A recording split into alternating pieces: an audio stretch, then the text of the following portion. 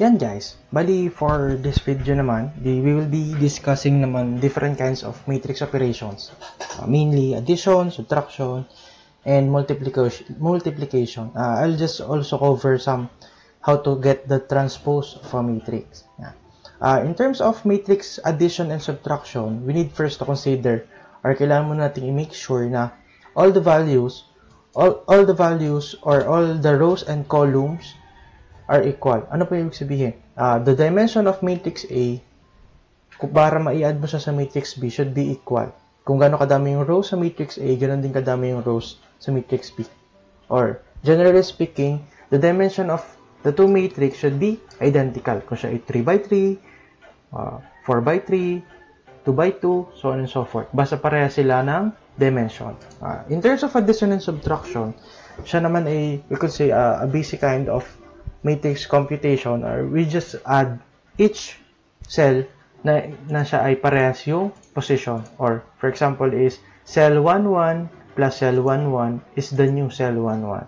Cell, for example, this one, cell, cell 32 plus cell 32 is equivalent to the new cell 32. Or you could say, this one plus this one is equivalent to the value. Or, this one is, sorry, this one plus this one is equivalent to the value. Ulitin natin.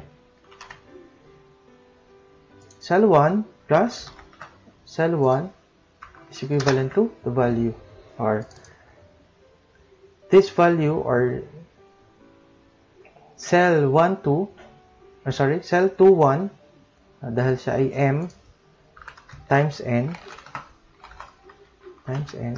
Uh, cell 2, 1 is equivalent to 4 plus 4. This value is 6 plus 6. Yan. Siya ay more on adding lang. Yan. Same as well with the subtraction. Subtraction is this value minus matrix P. Kung yun yung operation.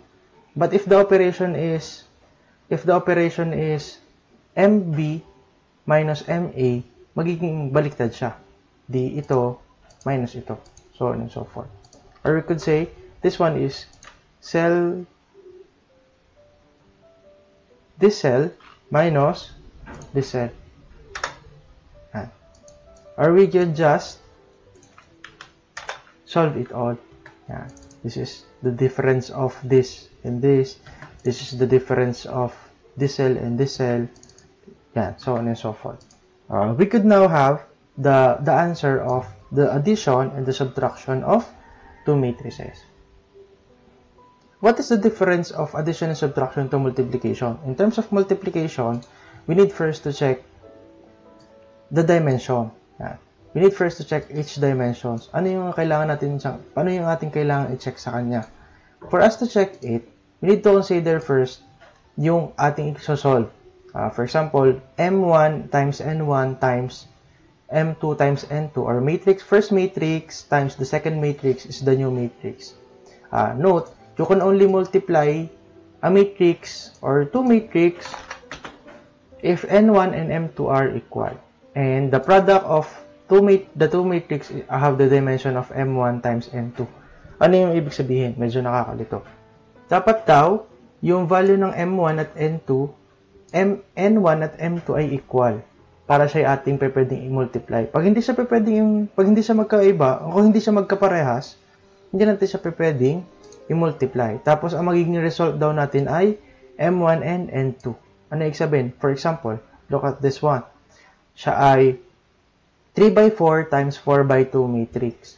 As you could see, yung N1 at M2 niya ay equal, parehas 4. So, ano yung magiging sagot natin? Our answer would be a 3 by 2 3 by 2 matrix. Diba? Another example. Paano naman kapag ang matrix natin is yan. Yan.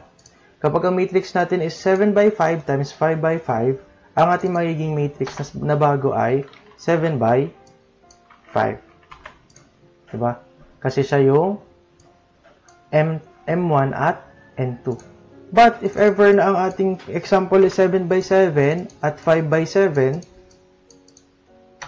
uh, we could not compute it or we could not get the product of two matrix, the two matrix kasi hindi magkaparehas yung kanilang hindi magkaparehas ang kanilang N1 at N2. Basta always make sure muna that the values of your M N1 and N2 are equal for us to solve it.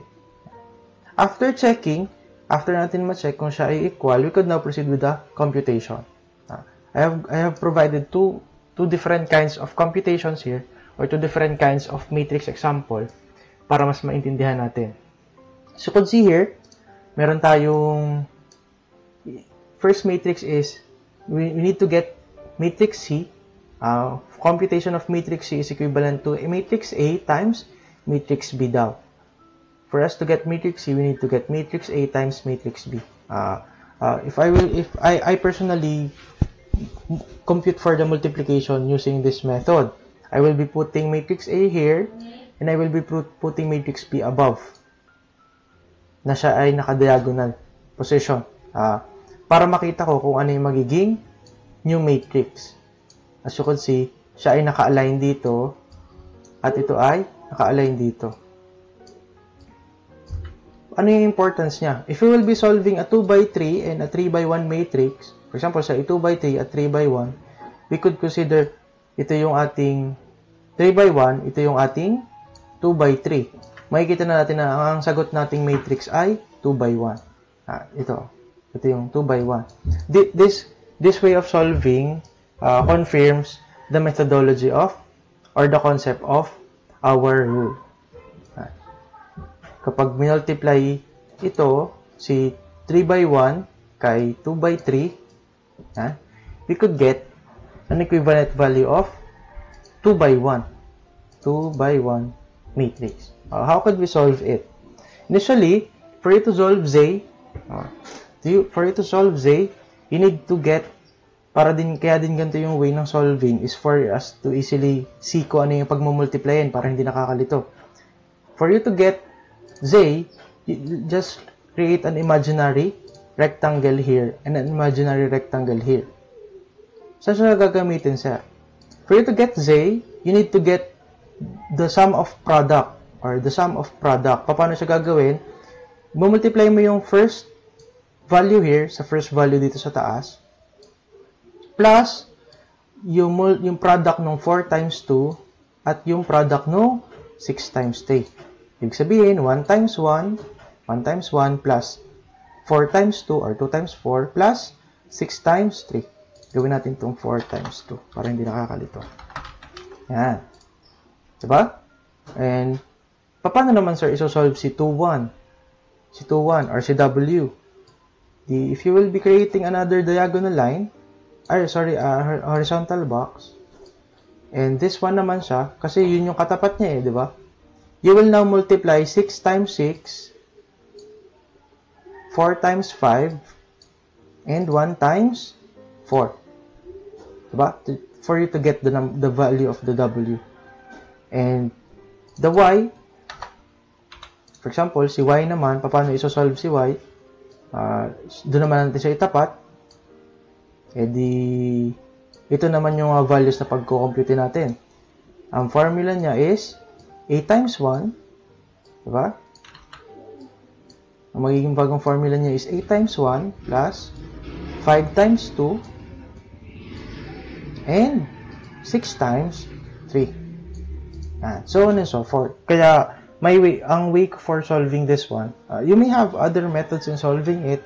You may use your own method. You could see other methods on the internet, on the books. Yan. Uh, I will be providing this kind of computation because I see it more easier and less less uh, sa confusion. Then, you will be solving it so on and so forth para makuha natin yung mga values nila isa-isa. As after computation, we could see Z is 27 kasi ito yung formula. Uh, w is 60 and Y is 50. Yan. Paano sir isosolve ito? Di itatapat mo lang siya. You could use an imaginary or on your own. By imagining, I'm just creating squares para madali siya matandaan. pero hindi naman necessary na kailangan yung gawan siya ng mga rectangles, edi siya 8 times 4 plus 5 times 5 plus 6 times 6. Paano sir ito i-solve? Itong isang to. Edi ito naman yung magkatapat. 8 times 7 plus 5 times 8 plus 6 times 9. Paano naman sir i-solve yung ito? Tapat natin as indicator 7 times 1 plus 8 times 2 plus 9 times 3 so on and so forth. Ito naman, 7 times 4 plus 8 times 5 plus 9 times 6. Sunod, ito naman. 7 hmm, times 7 plus 8 times 9. Sorry, 8 times 8 times 9 times 9. Yun yung magiging sagot dito. Or, we could consider the values after solving. Ang mga values niya ay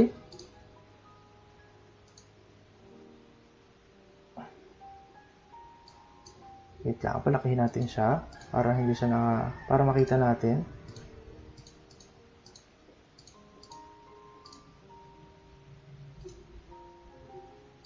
Yan. This is the value or the answer of this is our matrix C. Uh, this is the product of matrix A and matrix B. Yan. Paano naman itong padalawa? How could we solve this one? Uh, medyo different na siya kasi hindi na siya parehas na 3 by 3. Siya ay 2 by 3 times 3 by 1. Paano natin siya ngayon isosolve? Same as well lang din sa kanina. For us to solve this value, tapat lang natin siya kung saan row at column siya connected. 1 times 1 plus 4 times 2 plus 7 times 3. Siya equivalent sa 30. Yan. Diba? Then, lastly is, yung last row natin, siya ay 1 times 7 plus 4 times 8 plus 7 times 9. Uh, if we will be solving that using our calculators, we could get it as 102. Meaning to say, this is our final answer on our first problem. This is our final answer on our second problem. Ang ating matrix dito ay 2 by 2, ay sorry, 2 by 1 at ang matrix natin dito ay 3 by 1. I hope you understand how to solve it using this way or if you find better ways or easier ways to solve this, it's it could be good. But I, I could see this way or this method the easiest in try in solving matrix multiplication. Yeah. Bali, After we conducted addition, subtraction, and multiplication, uh, I will be introducing you how to transpose a matrix. Ano naman po yung matrix transposition? Uh, a matrix, a transpose matrix daw is equivalent to the original matrix but the rows and columns are interchanged. What do you mean sir by the rows and columns interchange? Uh, yung dating rows ay naging columns na at yung dating columns is naging rows na. If you will be asked what is the transpose matrix of matrix A, you'll just create all the columns rows and you'll just transform all rows to columns. Meaning, ang ating row 1 ngayon ay yung dating column 1. 1, 2, 3. Ito. Yung dati nating, yung ating row 2 ngayon ay yung dating column 2 or 4, 5, 6. Then yung dati nating column 3 is our row 3 na. Or 7, sorry, 7, 8, Let's say, for example, you will be having another matrix of, let's create different values. And what for us to get the the transpose matrix of this matrix, we could get it by removing or by creating a new matrix na yung dating row ay column na ngayon. Yung dating row ay column na ngayon. Or yung dating column ay row na. They will be interchanged. Meaning, our transpose matrix of matrix B is equivalent to 5, 1, 7, 8, 2, and 3. And lastly is 0, 6, and 8. Yan. Meaning to say, if, if, if there is a problem to get matrix C, for example, need to find matrix C, and the formula of matrix C, the formula of matrix C is equivalent to matrix A times matrix B transpose. Yan. Say for example, matrix A is equivalent to matrix A times matrix B times transpose. transpose. Meaning, you will be solving it using multiplication by considering matrix A, diba? Matrix A times matrix B transpose. Yan. Kagaya ng ginawa natin kanina. Diba?